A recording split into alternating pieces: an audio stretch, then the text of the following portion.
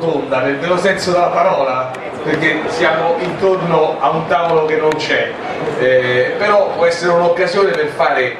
alcune riflessioni a prescindere dal pubblico diciamo eh, che può essere eh, non numeroso ma sono comunque riflessioni interessanti per il mondo che noi rappresentiamo, che voi rappresentate. Allora la prima cosa che dico e poi io non dirò più nulla, passo il, il microfono a Maurizio Maestrelli, è che la FIPE ha pensato a questa cosa, eh, del, una tavola rotonda che coinvolgesse tutti i protagonisti della filiera, pensando con, in particolare della, del mondo della produzione artigianale, eh, perché convinta di alcune, alcune cose, convinta del fatto che i pubblici esercizi sono un terminale essenziale per eh, i consumi alimentari a tutto tondo nel nostro paese, non la faccio lunga ma lo sapete anche voi che eh, le cose vanno male anche fuori casa ma molto peggio in casa quando parliamo di consumi alimentari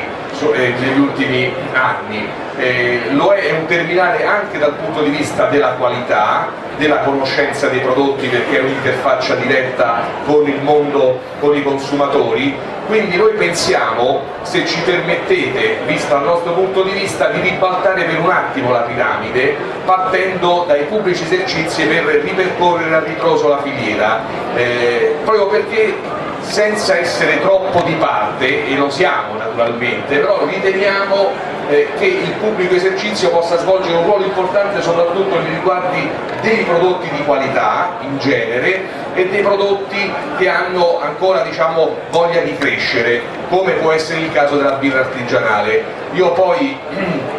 se ci sarà bisogno magari faremo dire qualcosa anche a chi vuole qui tra, tra, tra, tra il pubblico, ma passo subito la parola a Maurizio Maestrelli, intanto vi ringrazio per essere qui. Grazie. Eh, volevo, so che in una tavola rotonda in cui si parla di birra chiedere una bottiglia d'acqua naturale è, è già insultante per tutti, però scusate, se si potesse avere sarebbe l'ideale. Uh, allora, io innanzitutto voglio ringraziare, è la prima volta che, che mi capita di, di, fare una tavola rotonda sulla birra al Vinitali, anche di, di, battaglia di Zama questa cosa, siamo riusciti a portare l'argomento birra nella principale, nella più... No,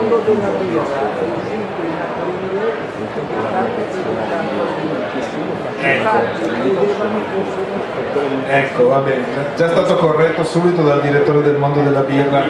che ha presentato la rivista, si parla del 1983, giusto? Eh. Nell'84, va bene. A, a parte questo caso pionieristico di presentazione della rivista... però allora era uno scherzo. Esatto, no, quello che, che mi colpisce è vabbè, detta come battuta, insomma, la prima, tavola, prima volta che si parla di birra eh, alla principale, la più importante fiera del vino, è come magari alcuni di voi avranno notato anche eh, l'incremento della presenza dei birrifici ospiti qui a Verona in fiera. Anno dopo anno loro, il loro piedino diciamo, messo all'interno della porta ha, ha aperto un varco sempre più importante. E se mi concedete una riflessione eh, da parte mia è solo credo la testimonianza del fatto che vino e birra non siano prodotti in antitesi ma che comunque facciano parte di un, di un unico grande mercato e, e, conoscano consumatori spesso poi eh, gli stessi tipi di consumatori che a volte scelgono la birra e a volte scelgono il vino. Um, sono molto contento e ringrazio la FIPE per l'invito perché mi sembra molto importante che la più importante organizzazione che raccoglie i pubblici esercizi in Italia dimostri attenzione verso il prodotto birra, prodotto che per lunghi anni non è mai stato considerato per la dignità che ha, la dignità che non è solo un, un valore morale, ma è un valore storico, è un valore di diversità di stili, di produzioni, eh, è un valore quindi se vogliamo organolettico da un certo punto di vista ed è anche un valore di creatività imprenditoriale. L'Italia oggi conosce un periodo di rivoluzione, come ho detto prima quando eravamo a tavola, assolutamente nuovo, è, è forse il periodo più entusiasmante e se vogliamo anche complicato che ci sia mai stato in Italia, perché non c'è mai stato un numero di produttori così elevato, o forse c'è stato nell'Ottocento, ma se ne sono perse le tracce, e oggi questa, eh, tutto questo numero di piccole produzioni, si parla di circa 500 eh, non unità produttive ma di 500 aziende birrarie e uso il termine aziende molto generico perché tra queste consideriamo brew pub, micro birrifici e la novità recente delle brew firm, cioè di aziende che fanno la birra in altri impianti, ma 500 è un numero assolutamente importante, con quote anche di mercato che cominciano a essere significative. Gli ultimi dati a Sobirra, chi li ha più precisi è pregato di correggermi, parlavano di circa il 2% del mercato imputabile alla produzione artigianale. Ovviamente una presenza di questo tipo cambia tutto. Cambia da un lato il ruolo e l'atteggiamento dei produttori storici, dei produttori industriali, dalle multinazionali alle aziende non multinazionali ma comunque di tipologia, chiamiamola industriale, cambia il ruolo o l'attenzione dei distributori che sono l'anello di congiunzione della, della, filiera tra produzione e servizio al pubblico, cambia il ruolo fondamentale, ed è quello su cui si gioca la partita decisiva, secondo me, dei pubblici esercizi, perché alla fine è il consumatore che decide e che fa il mercato. E la capacità del pubblico esercizio di veicolare un prodotto è assolutamente decisiva per il successo del prodotto stesso, soprattutto per il successo delle piccole produzioni che per ovvi motivi anche economici, soprattutto economici, non hanno la possibilità di veicolare, di raccontare, di comunicare il loro prodotto attraverso tutte quelle operazioni di marketing e di comunicazione pubblicitaria che le grandi aziende possono fare. Terra a terra, Leonardo Biro del Borgo non di San Gabriel dubito che possano permettersi di fare spot pubblicitari eh, o sponsorizzazioni faraoniche di Champions League. Adesso poi Leonardo mi smentirà sicuramente ma eh, e quindi, quindi c'è la necessità di fare un'opera di comunicazione diversa. Siccome per me, credo per tutti noi è tanto importante fare un buon prodotto quanto saperlo raccontare e fare un buon prodotto e non riuscire a venderlo non ha molto senso in un'economia di mercato come quella attuale, capirete benissimo che il pubblico esercizio è in qualche modo sono le ambasciate sul territorio del prodotto, in questo caso birra artigianale. Abbiamo la fortuna di avere in un colpo solo tutti i protagonisti o comunque dei rappresentanti di tutti i passaggi della filiera. È estremamente interessante, può essere anche un po' pericoloso perché spesso ci sono delle discussioni tra, tra i protagonisti della filiera,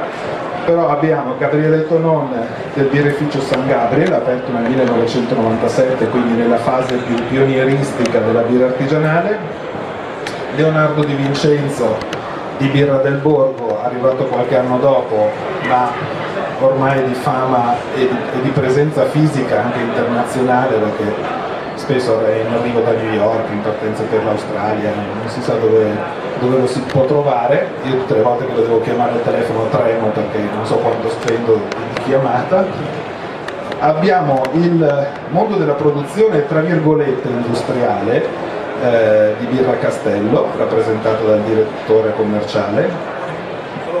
Oreca, solo Oreca ma già abbastanza.